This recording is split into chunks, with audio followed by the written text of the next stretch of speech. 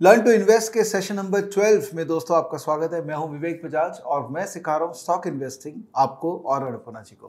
Hello Hello, sir. कैसे All good. Very good so session number 11 was about Jubilant Food Domino's pizza. So हमने ना session number 10 में बात की थी when we were discussing about a good company Asian Paints Right. उसके बाद stock price बहुत गिर गया। आपने देखा क्या? Yes. आपको लग रहा होगा यार ये तो वो अच्छी कंपनी बता रहे थे इसका शेयर प्राइस गिर क्यों गया? तो आपको पता है क्यों गिरा? Right, sir. नहीं पता?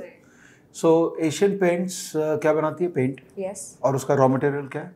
Sir, ethanol. किसी तरह का केमिकल है. Which is derive from crude oil because crude oil prices बढ़ गए उसका रॉ मटेरियल कॉस्ट बढ़ गया इसके कारण ऑब्वियसली लोग एक्सपेक्ट कर रहे हैं कि इसका बिज़नेस अब खराब हो जाएगा। तो प्राइस नीचे करेक्ट कर रहा है। तो हमको क्या करना चाहिए? अपॉर्चुनिटी। क्योंकि मैनेजमेंट को नहीं पता है क्या कि तेल का दाम बढ़ रहा है? और अगर किसी कंपनी के पास में प्राइसिंग पावर है और वो रॉ मटेरियल का कॉस्ट जो बढ़ा उसको अगर फिनिश को उसके कॉस्ट में. ट्रांसफ़र कर सकता है एंड कंज्यूमर को तो इसका मतलब वो कंपनी तो इस प्रॉब्लम से निकल जाएगी। Hmm. तो उसको कहते हैं moat M O A T अगर एशियन पेंट्स के पास में मोट है. कि कंज्यूमर आएगा तो उसी के पास आएगा बिकॉज़ कंज्यूमर को अगर पेंट करवाना है घर को तो एशियन पेंट्स का ही पेंट लेगा वो। आप बोल सकते हैं सर मैं नेरोलैक ले लूँगी। तो नेरोलैक वाले का भी तो तेल पे डिपेंडेंसी है। Hmm. उसका भी तो रॉ मटेरियल कॉस्ट बढ़ गया है उसका भी तो रेवेन्यू में हिट आएगा तो पूरी इंडस्ट्री को हिट आएगा। Okay. तो ऑब्वियसली इंडस्ट्री को प्रॉब्लम आएगा। बट अगर आप उस इंडस्ट्री में इन्वेस्ट करना चाहते हैं तो अभी भी एशियन पेंट्स अच्छा कंपनी अगर आप बोलते हैं नहीं सर मैं ये इंडस्ट्री से निकल जाती हूँ बिकॉज़ ये रॉ मटेरियल का दाम बढ़ रहा है तेल का कोई भरोसा नहीं है तीन सौ डॉलर हो गया तो। Hmm. तो ये इंडस्ट्री खराब हो गई। तब और बात है तब निकल जाओ। तब उस इंडस्ट्री के अंदर में चले जाओ जिस इंडस्ट्री को हो सकता है फ़ायदा होगा हम्म। तेल का दाम बढ़ने से। कौन सी इंडस्ट्री है? Uh, probably petrochemicals. करें रिफाइनरीज अगर तेल का दाम बढ़ता है तो ऑब्वियसली उनको फ़ायदा होता है बिकॉज़ उनका ग्रॉस रिफाइनरी मार्जिन जो है वो बढ़ जाता है। ठीक है? तो पिछला बार हमने डोमिनोज की बात की थी तो डोमिनोज का एक अपने तो हर वीडियो में ना हम लोग एक एक बात कर रहे हैं। जिससे आपको ये फ्रेमवर्क जो हमने डिज़ाइन किया है क्या क्या फ्रेमवर्क में पार्ट है? Management quality framework valuation and edge edge score which is basically quantitative framework quality management quantity quality management quantity ठीक है ना? Right. तो ये फ्रेमवर्क अपने डिस्कस करें। तो उस वीडियो में मैंने कहा था कि एकदम बेकार कंपनी लेंगे। Hmm. बट हमको क्या भूख लगी थी तो हमने पिज़्ज़ा मंगा लिया। तो हमने जुबिलेंट ले लिया जो कि रीजनेबली ओके है। तो एशियन पेंट्स वाह वाह जुबिलेंट रीजनेबली ओके एंड आज हम लोग बेकार कंपनी की बात करेंगे जिसका नाम है फ्यूचर रिटेल So, बेकार ही है तो फिर बात ही क्यों करें? एक्चुअली बेकार नहीं है। मैं I want to correct myself because किसी भी एंटरप्रेन्योर के business is like a baby for an entrepreneur उसको बेकार नहीं बोल सकते हम। तो I take back my words दोस्तों। प्लीज़ मुझे आप ट्वीट ट्रोल मत कीजिएगा। बेकार नहीं बोल रहा हूँ। कई लोगों ने मुझे ट्रोल किया कि आपने भगवान राम को एशियन पेंट्स के साथ कैसे कंपेयर कर लिया। मैं बोल रहा हूँ, भैया, मेरा वो नहीं था इंटेंशन मेरा बात ये था कि जो एपिटोम ऑफ़ क्वालिटी है वो एक एशियन पेंट्स में दिखता है। तो obviously Ram is an epitome of quality so इसीलिए मैं let's come back to Future Retail जो है आप कभी यूज़ किए पैंटलून या बिग बाज़ार Yes, है ना. And Kishore Biyani is a household name. एक जनरेशन ऑफ़ एंटरप्रेन्योर के अंदर में किशोर बियानी का नाम बहुत बड़ा नाम था कि यार कुछ भी नहीं था। ही just B Com from Bombay Oh. and from there he has created lovely lovely but then mistake हो गया कई मिस्टेक्स हो गए तो आज हम लोग इसमें एनालाइज करेंगे कि कैसे एक कंपनी जो अच्छी थी धीरे धीरे धीरे धीरे खत्म हो गई Hmm. और फिर अभी रिलायंस ने खरीद लिया उनको Hmm. राइट पहले फ्यूचर रिटेल के अंदर में पेंटिलेंस हुआ करता था उसको बिरलास ने ले लिया था Hmm. और फिर बचा जो भी है अभी है वो सब रिलायंस ने इनफैक्ट रिलायंस और अमेजन में लड़ाई चल रही है हाँ. सुना पेपर में रिपोर्ट सुना होगा ना कि अमेजन को पहले बेचा फिर रिलायंस को बेचा तो अमेजन बोलता है अरे तुमने तो मुझे बेच दिया था। अभी रिलायंस को कैसे बेच दिया तुमने? तो ये डिस्प्यूट चल रहा है ठीक है? तो आज हम लोग बात करेंगे इसके बारे में। Okay. इस पे हमारा ना केस स्टडी नहीं बना हुआ है एच स्कोर में। बिकॉज़ एच स्कोर में हम उसी कंपनी पे केस स्टडी बनाते हैं जिनमें हमको पता है कि हम अपने बच्चों के लिए पैसा डालेंगे. That's the theory which we have तो इस पे तो हम नहीं डालेंगे तो हमने नहीं बनाया। लेकिन एनालिसिस करेंगे।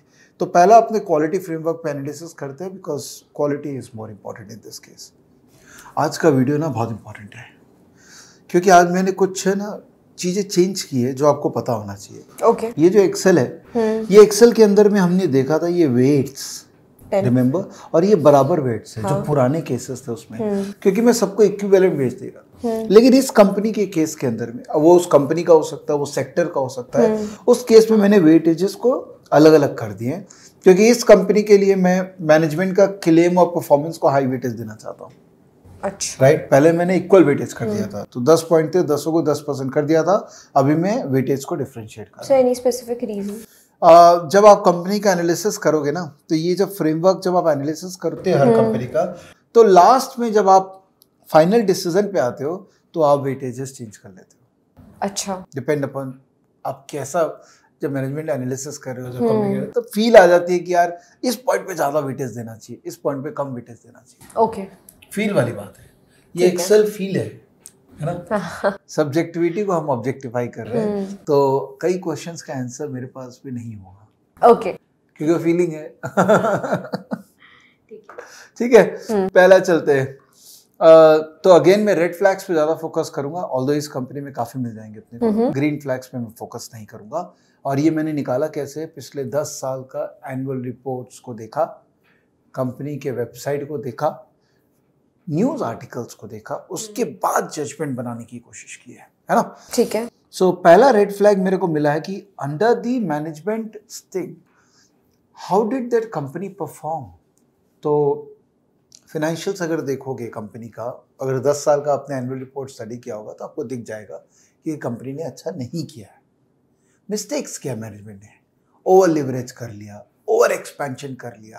अपने आप को बहुत ज़्यादा एक्सपोज कर लिए। हम्म। मतलब जितनी चादर है उससे ज़्यादा पाँव फैला लिए अच्छा। तो होना ही था। हम्म। क्योंकि इकोनॉमिक साइकिल जब तक सही चल रही है तब तक सब सही है। लेकिन जिस दिन चक्रा घुमा उस दिन ये सब जो कंपनीज़ है जो कि ओवर लिवरेज्ड है इनका सबसे पहला पतन होता है। ओके तो ये है मैनेजमेंट ने रेड फ्लैग है कि नहीं अच्छे से काम किया। हम्म उसके बाद रेड फ्लैग यहाँ पर है कि is the management often been accuse for breaking the law और ऑफन फॉलोइंग इन ट्रबल जैसे अभी लेटेस्ट जो चल रहा है फ्यूचर ग्रुप वर्सेज रिलायंस तो लॉ तो ब्रेक किया ही है ना भाई। जो एग्रीमेंट आपने कर दिया उस एग्रीमेंट के बियॉन्ड आप काम कर रहे हैं तो लीगली लॉ ऑफ़ लैंड के अगेंस्ट आपने काम किया है। और हिस्टोरिकल इसका आप न्यूज़ देखोगे आ, कई फोरम से जहाँ पर डिस्कशंस होते हैं अगर वो सब आप देखोगे तो आपको मिल जाएँगे स्नैपेट्स जहाँ से आपको पता लगेगा कि लीगली कई ऐसे एरियाज़ में उन्होंने ग्रे काम किया है। हाँ। इलीगल काम नहीं किया grey there is a difference between grey and illegal actually very grey खत्म होता है उसके बाद इलीगलिटी आती है। इलीगल काम करता हो तो अब तक जेल में हो जाते बट इलीगल नहीं किया ग्रे काम किया ठीक है? तो हमने रेट दे दिया। मैं क्यों रेट देता हूँ? क्योंकि मैं कंजर्वेटिव हूँ। यस आपको तो पता है। यस क्योंकि मेरे को इन्वेस्टमेंट मेरे बच्चों के लिए करना है and I am very very careful about this तो I am very conservative person उसके बाद are the family management qualified for the position in top management अब देखिए ये दोनों हस्बैंड वाइफ दोनों काफ़ी इन्वॉल्व थे इसमें। अ, वैसे क्वालिफिकेशन नहीं है उतना बी कॉम है खाली। बट एक्सपीरियंस बहुत अच्छा है। बट देखिए क्वालिफिकेशन हाँ। मैटर करता है यस तो अगर आईटीएन होते तो अलग ही सोच होती। आई एम का तो मैं नहीं बोल सकता हूँ क्योंकि मैं हूँ तो। बायसनेस आ जाएगा मेरा। आप बोलोगे तो आई एम ग्रेजुएटेड तो ज़्यादा बोल रहा है। सो मोरलेस इसमें तीन रेटिंग है ठीक है? सेकंड फटाफट। मैनेजमेंट कॉम्पनसेशन में मुझे यहाँ नज़र आया कि मैनेजमेंट का एक प्रॉब्लम क्या ना कि बिज़नेस साइकिल के हिसाब से कॉम्पनसेशन कॉम्पनसेशन इन्हें चेंज नहीं किया। कि अगर बिज़नेस खराब चल रहा है लॉस है उसमें भी ये कॉम्पनसेशन ले रहे हैं दो करोड़ रुपए। तो क्वेश्चन आता है ना कि यार जब कंपनी अच्छा नहीं कर रही है तो तुम क्यों सैलरी उठा रहे हो? हम्म। तो रेड फ्लैग ओके आप बोल सकते हैं कि सर आदमी घर नहीं चलाएगा। क्या तो ना घर चलाओ दो करोड़ रुपए क्यों भैया? जब कंपनी लॉस में शेयर होल्डर का पैसा पे तुम दो करोड़ मत लो घर चलाने के लिए पैसा लो। नेक्स्ट है is there a big gap between promoters compensation in comparison to other executive वो भी एक इसमें इशू था कि जो नीचे के लेवल के एग्जीक्यूटिव थे उनका सैलरी उतना अच्छा नहीं था। ऊपर वाले ज़्यादा हेवी थे तो ये भी रेड फ्लैग ओके ठीक है? उसके बाद आते हैं मैनेजमेंट के चेंजेस ये बहुत प्रॉब्लमेटिक है। इस कंपनी में ना बहुत फ्रिक्वेंट चेंजेस हैं। कभी कोई आता है कभी कोई जाता है चला जाता है फिर उसके बाद उसका कमेंट आता है कि मैं चला गया कंपनी सेक्रेटरी चेंज होता है बहुत चेंजेस है फ्रिक्वेंट है। तो ये रेड फ्लैग्स काफ़ी मिल गए मेरे को इसके अंदर में। अच्छा नहीं है ना अगर मैनेजमेंट फ्रिक्वेंटली चेंज होता है तो एक बार कंपनी हिल जाती है ना जो बंदा काम कर रहा चला गया तो एक बार तो सेटबैक आई था तो कंटिन्यूस बेसिस पे टॉप मैनेजमेंट में इश्यूज़ नज़र आए इसको। कुछ पूछ रहे थे आप? नहीं सर। ठीक आगे बढ़ते ऑडिटर चेंज ऑडिटर का चेंज वगैरह में कोई मुझे ज़्यादा नज़र नहीं आया इशू लेकिन ऑडिटर जो है ना कमेंट काफ़ी पास किए हैं कि स्टैम्प ड्यूटी में ड्यूटी पेंडिंग है सेल्स टैक्स में ड्यूटी पेंडिंग है। तो ये ऑडिटर्स के फ्रिक्वेंट क्वालिफाइंग स्टेटमेंट्स हैं। तो मैंने उसको लाल कर दिया। अच्छा। उसके बाद है performance management claim in performance यहाँ मेरे को लगता है मैनेजमेंट सबसे सबसे ज़्यादा गलत काम हुआ मैनेजमेंट से कि अगर आप लास्ट कुछ सालों का इनका परफॉर्मेंस देखें कंपनी का एनुअलाइज सेल्स ग्रोथ देखें तो पाँच परसेंट पे माइनस टू परसेंट पाँच साल में। दस साल में तो है ही नहीं फिगर ही तो एक बार थोड़ा जूम इन जूमिंग कर ले लीजिए। तो कंपाउंडेड प्रॉफिट ग्रोथ देखे तो प्रॉफिट ग्रोथ भी नहीं है। स्टॉक प्राइस का ग्रोथ देखे तो वो भी खराब है। बेसिकली मैनेजमेंट अपने पता नहीं क्या कर रही थी बट बिज़नेस में कहीं ना कहीं ये लोग उल्टा पुल्टा काम कर रहे थे। ओके अ, कई ऐसे पॉइंटर्स हैं जो मैंने इसमें एक्सेल में डाल रखे हैं तो आप बाद में देख लीजिएगा। ये वीडियो में तो मैं ऑब्वियसली आपको खाली कॉन्सेप्ट बता रहा हूँ तो बट ये एक्सेल सपोर्टिंग एक्सेल पीडीएफ सब रहेगा। इस वीडियो के नीचे लिंक रहेगा। प्लीज़ डाउनलोड करके एक बार देख लीजिएगा कि मैंने क्यों ये चीज़ बोला है कि मैनेजमेंट का जो कंडक्ट है ओवरऑल उसमें लाल फ्लैग्स काफ़ी आ रहे थे। और ये आप हर क्वार्टरली अगर ये एक्सेल को रिव्यू करोगे ना तो आपको फील आ जाएगा कि यार ये तो ग्रीन नहीं रहा अब तो ये भी लाल हो गया तो लाल कर दो। हम्म। और अगर मैनेजमेंट का रेटिंग खराब हो रहा है तो आप कर रही है ना उसको खराब उसमें प्रॉब्लम क्या है? उसके बाद है स्टेक होल्डर इंगेजमेंट की क्या मैनेजमेंट शेयर होल्डर्स के साथ में अच्छा व्यवहार करता है अच्छा इंगेजमेंट करता है? तो आप देखिए इंगेजमेंट कैसे होती है इन्वेस्टर प्रेजेंटेशन कॉन कॉल्स तो बहुत टाइम हो गया मैनेजमेंट ने कॉन कॉल वगैरह नहीं किया इन्वेस्टर प्रेजेंटेशन तो आप अपने शेयर होल्डर के साथ में अगर इंगेज नहीं होंगे उनको कंफर्ट नहीं देंगे तो कैसे शेयर होल्डर को कंफर्ट आएगा आपके ऊपर है ना? हम्म। जैसे लोन लिया किसी से तो वो भी तो स्टेक होल्डर है। खाली इक्विटी वाला नहीं है ना बैंक भी आपको लोन दे रखा है तो आपका पार्टनर हो गया स्टेक होल्डर हो गया। तो बैंक को उन्होंने ब्याज ही नहीं दिया। हम्म। तो ये सब हो गए रेड फ्लैग्स हम्म तो काफ़ी रेड फ्लैग्स मिल गए मेरे को यहाँ पे। उसके बाद है legal compliance with government policies इसमें भी प्रॉब्लम है। खैर रिटेल बिज़नेस में ना ये प्रॉब्लम रहते ही है बिकॉज़ रिटेल इतना बड़ा बिज़नेस है कोई ना कोई लैप्सेस तो होंगे ही। बट आप देखो ओवरऑल मैंने देखा कि मल्टीपल लोकेशंस मल्टीपल रेगुलेटर्स के साथ में इनके कुछ ना कुछ इश्यूज़ थे। तो लीगल कंप्लायंस भी प्रॉब्लम था। हम्म। और उसके बाद आते हैं रिलेटेड पार्टी ट्रांजेक्शन ये भी एक बहुत बड़ा प्रॉब्लम है। जो कि टिपिकली देसी ऑर्गेनाइजेशंस में होता है ना कि अपनी कंपनी के साथ भी ट्रांजेक्शन कर लिए पैसा इधर डाल दिए उधर डाल दिए तो वो बहुत रेगुलर हो रहे थे। तो आप एनुअल रिपोर्ट को अगर इसीलिए मैं बोलता हूँ एनुअल रिपोर्ट पढ़ना बहुत ज़रूरी है बिकॉज़ हर एनुअल रिपोर्ट में आपको कुछ ना कुछ नया मिल जाएगा। Which will help you to modify your flags तो ये भी खराब। उसके बाद इमेजिन करिए ये एक्सेल हमारे पास में हर क्वार्टर का बना हुआ रहता। हम्म। और पिछले तीन साल चार साल का होता। हम्म। तो जैसे जैसे एक्सेल में डिग्रेडेशन हो रहा है वैसे वैसे स्टॉक प्राइस में भी फॉल आपको दिखता। मैं दिखाऊँगा आपको स्टॉक प्राइस भी okay asset quality asset quality में देखिए प्रॉब्लम नहीं है। एसेट क्वालिटी में क्यों नहीं प्रॉब्लम है? बिकॉज़ सबसे बड़ा एसेट एक रिटेल बिज़नेस में क्या होता है? सबसे बड़ा एसेट सर लैंड नहीं। अरे लैंड कौन लेता है सर मतलब? पूरा प्रॉपर्टीज़ इजंट इट रिटेल है सर रिटेल है तो प्रॉपर्टी तो क्या भाड़े पे लेता है लोग? खरीदता थोड़ी ना तुम देखा कभी कोई खरीद के बंडल नहीं भाड़े पे? खाली डीमार्ट खरीदता है बाय द वे बट बाकी ज़्यादा जितना भी मेजर रिटेल शॉप्स है वो भाड़े पे लेता है। तो सर मैन पावर नहीं मैन पावर कैसे एसेट हुआ। वो तो है ही मैन अरे वो ठीक है man power is expense item you can't value man power as an asset right सबसे बड़ा होता है ब्रांड फ्लिपकार्ट आदमी क्यों जाता है? ब्रांड है ट्रस्ट है।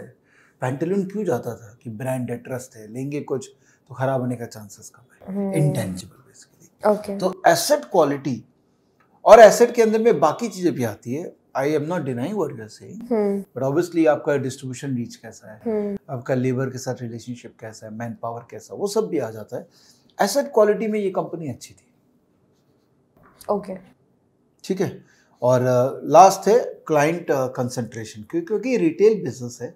तो क्लाइंट कॉन्सेंट्रेशन उतना बड़ा इशू नहीं था। वाइड स्प्रेड क्लाइंट थे मल्टीपल सिटीज़ में जितना ज़्यादा जोग्राफिकली स्प्रेड है उतना अच्छा है रिटेल बिज़नेस तो अब आप देखिए रिटेल बिज़नेस को जब हम इवेल्युएट करते हैं तो हम इक्विवेलेंट वेटेजेस नहीं दे सकते सब में। Because client concentration can not be high weightage thing है बिकॉज़ रिटेल है भैया क्लाइंट कॉन्सेंट्रेशन कैसे हो सकता है? तो हम्म इसलिए यहाँ पर जो हमने वेटेजेस है ना उसको चेंज कर दिया।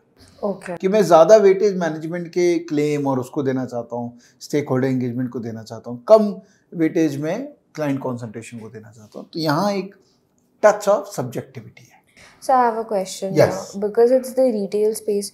Um, should we not take um, the competition also in consideration? Yes तो जब आप एसेट क्वालिटी वगैरह जज कर रहे हैं हाँ. तो आप कंपटीशन को वहाँ पर टच कर सकते हैं लेट अस सी यहाँ पर मैंने कंपटीशन कहीं मेंशन किया है क्या आई थिंक एसेट क्वालिटी का क्या मतलब होता है कि आप जिस लोकेशन पे कंपनी जिस लोकेशन पे है उस लोकेशन पे कंपनी का रीच कैसे है? तो आप एसेट क्वालिटी या क्लाइंट का in fact you can add one more point it's a very good point you mention कि uh, आपका कॉम्पिटिटर कैसा है? चैलेंजेस और ये सब के अंदर में। So client concentration quality and और एसेट क्वालिटी इस दोनों में ये पॉइंट कवर हो जाएँगे। Very good question so so finally ये कंपनी का हमने देखा कि इसका चौदह आ रहा है तीस में से। और हमने बोला था कि बीस के ऊपर रहेगा तो सही है। Hmm. तो ये रेड फ्लैग हो गया. ठीक है? ठीक है. स्टॉक प्राइस एक बार देखते हैं चलिए। हम्म? इससे आपको आइडिया लगेगा कि ये स्टॉक ये देखिए रिटेल तो ये 2016 का है। हाँ. तेज़ी। उस समय रिटेल बूम आया था इंडिया में बहुत ज़ोर से। उसके बाद ये स्टॉक यहीं रह गया। और फिर ये क्यों? क्योंकि डिग्रेड होता गया. परफॉर्मेंस फाइनेंशियल्स भी डिग्रेड होते गए बाकी सारे परफॉर्मेंस भी डिग्रेड होते गए।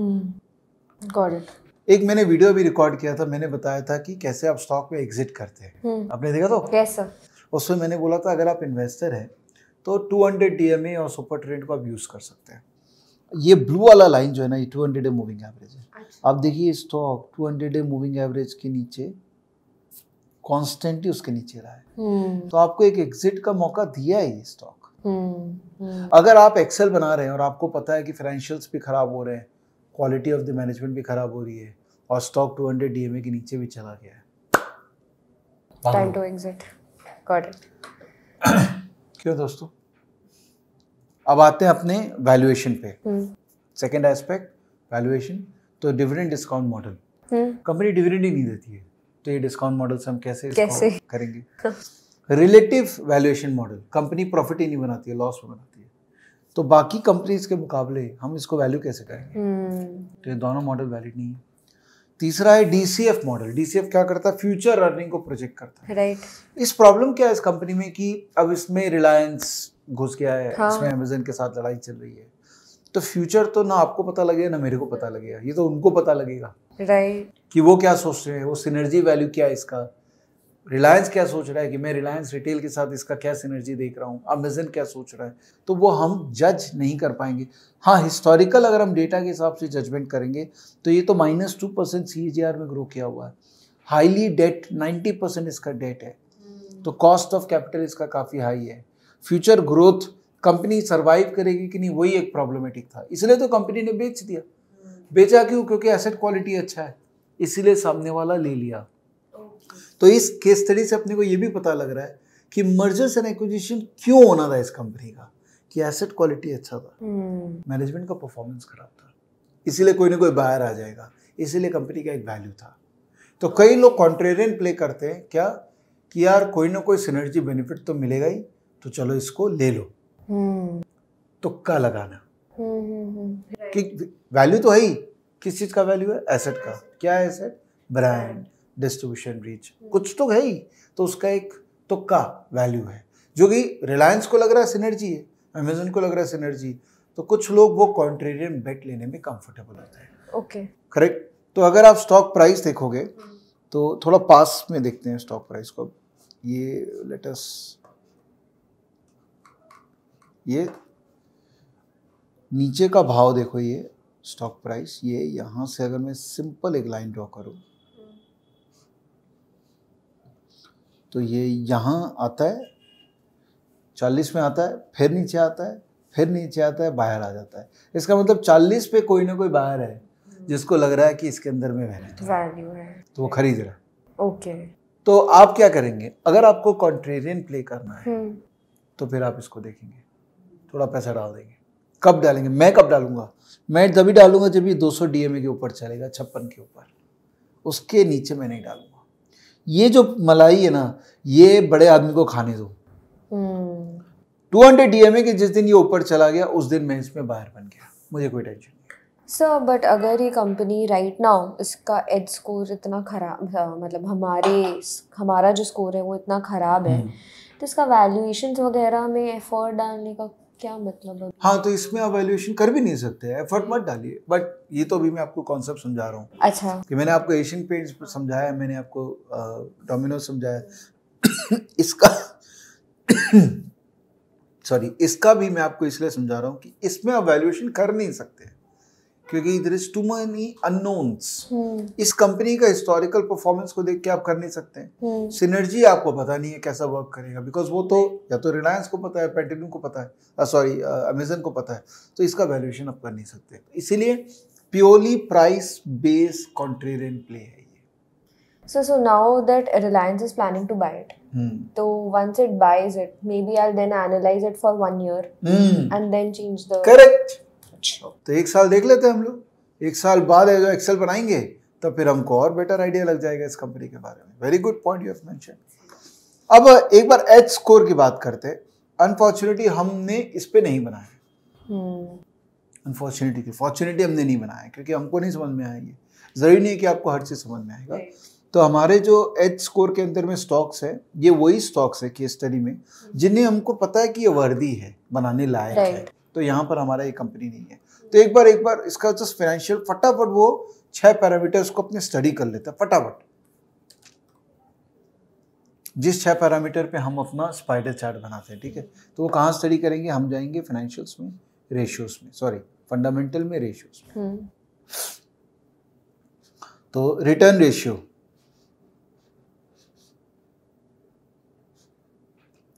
कंसोलिडेटेड हो गया सारी कंपनी मिला के स्टैंड हो गया उस पर्टिकुलर कंपनी की। मैं स्टैंड देख रहा हूँ। इसको देख के आप क्या रेटिंग देंगे? So zero. That's an option. आप बहुत ही ज़ीरो मत कीजिए प्लीज़ देखिए किसी ने बिज़नेस बनाया आप ज़ीरो बोलेंगे तो। कुछ तो दीजिए।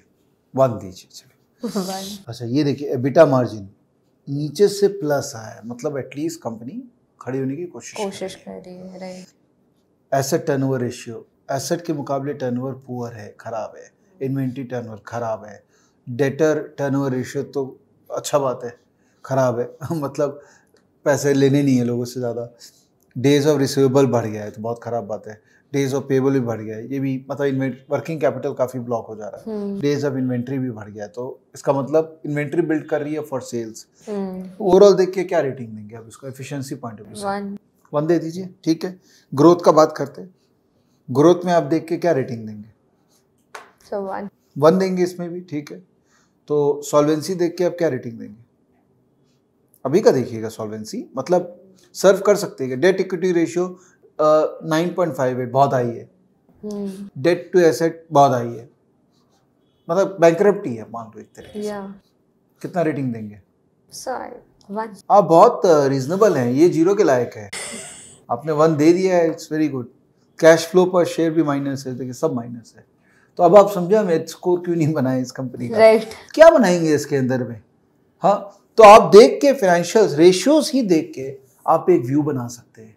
हम्म। अब आपको वो केस स्टडी रिपोर्ट आपको नहीं बनाना है। हम तो बना ही रहे। अगर आपको कभी देखना भी होना तो खाली एक एक में जाओ देख के व्यू बन जाएगा कि ये रेटिंग थ्री थ्री देती हूँ मैं। टू देती हूँ मैं फोर देती हूँ हम्म। उसके हिसाब से आपका एच स्कोर भी आ गया। यहाँ पर आपका H score because you are very conservative and very liberal person also तो you given one in all मतलब छः है which is less than twenty मतलब इट्स अ नॉन नॉन तो management wise bad valuations valuation wise है ही नहीं और H score wise which is financial is zero almost zero so हम इसको फंडामेंटली इवेल्युएट ही नहीं कर नहीं सकते कर सकते। तो हमको नहीं करना चाहिए। तो हमको अगर करना भी है इसमें काम कि हो सकता है कोई आपका दोस्त पड़ोसी होगा बोल रहा ले ले मैं बोल रहा हूँ ना। हम्म। तो अब क्या करें? ठीक है देख तेरे बोलने पे मैं ले रहा हूँ। लेकिन प्योरली प्राइस कॉल है ये मेरा। इसमें बिज़नेस मेरे को नहीं समझ में आ रहा है। तो ठीक है प्राइस कॉल लेंगे। हम्म। लेकिन हम अपने भाव पे लेंगे। या तो हम ये नीचे आएगा तो लेंगे या ऊपर क्रॉस करेगा तो लेंगे। यहाँ बीच में लेके फ़ायदा नहीं नीचे आएगा तो मैं अटेम्प मार सकते हैं। कि बयालीस में ट्राई करते हैं। हम्म। अड़तीस का स्टॉप लॉस में। और ऊपर चला गया तब मेरे को कॉन्फिडेंस आएगा थी टू हंड्रेड डी के ऊपर चला गया इसका मतलब कंपनी कुछ तो कर ही रही होगी। इसमें रिलेटिव स्ट्रेंथ भी डालें क्या? हाँ। निफ्टी के साथ में। क्योंकि ट्रेडिंग की बातें ही होगी है तो डाल ही दो। मेरा फेवरेट सब्जेक्ट है relative strength of a stock यहाँ पर निफ्टी के साथ में इसको कंपेयर करते हैं पचपन पीरियड ले लेते हैं। हम्म। और यहाँ देखते हैं। तो ये देखिए ये कंपनी खुद ही कंफ्यूज है ये प्राइस हम्म। ये भी कंफ्यूज है इसको नहीं पता इसको क्या करना है। तो जो चीज़ कंफ्यूज है उसमें क्यों हाथ देना है? जो सर्टेनिटी है जो अच्छा है जैसे एक स्टॉक बताते हैं देखिए। अब यही हम एक बी लिमिटेड दिखाते हैं हाँ। इसको हम क्यों ना लें? हम्म। हम क्यों उसमें अपना पैसा फंसाएँ? पैसा तो इतना ही हमारे पास। True art of rejection art of rejection